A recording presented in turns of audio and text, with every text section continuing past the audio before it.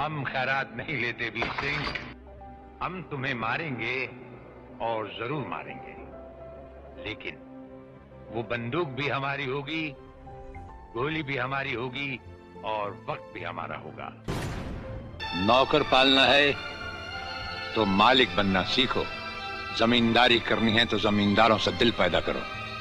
गरीब और मजदूर से लड़ने वाला ना मालिक होता है और ना ही जमींदार।